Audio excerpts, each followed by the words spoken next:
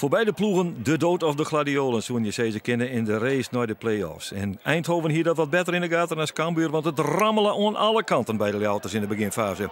Die kopbal die team krijgt zeggen, die weer van Kabangu, maar een goede redding van keeper Maus zorgde ervoor dat het 0-0 bleef.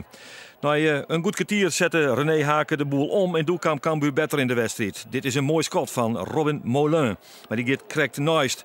Maar Cambuur die joeg wat meer gas en kwam ik wat beter in de wedstrijd. Toch zou het uh, misgaan, want hier komt in de 60ste minuut de voorzet van de linkerkant.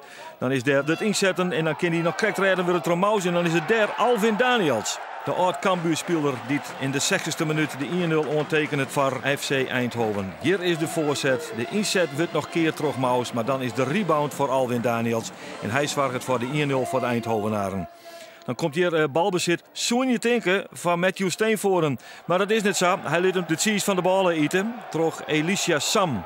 En die gaat helemaal terug. Vanuit de eigen helte rint die Steenvoren de Royaal uit en scoort de 2-0. En dan zoen je deze wedstrijd gespeeld over en uit. Cambuur kind de competitie wel Maar de Jouters die jocht zich nog één keer de regen. Hier komt de vrije trap van Robin Molen. Draait prachtig de 16 meter in. En daar is Kevin van Kippersluis van zijn tiende doelpunt. En vier minuten na de 2-0 maakt hij er weer een wedstrijd van. Het wordt 2-1. Prachtig onsneden vrije trap van Molen.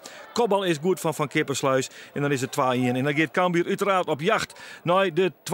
En die komt hier. Prachtige spitsgoal van Sam Hendricks. Onim in de 16 meter. Verdediger in de reg. En dan goed voordraaien. En hem in de lange hoeken zit. Een prima doelpunt van de spits van Cambuur. Die zijn achtste doelpunt ondertekent. Maar dit is een van de belangrijkste.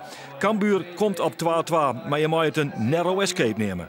Uiteindelijk als je uh, 2-0 achter staat en je maakt nog 2-2, dan is dat narrow escape. Maar ja, ik denk dat we ook minimaal een punt verdiend hadden.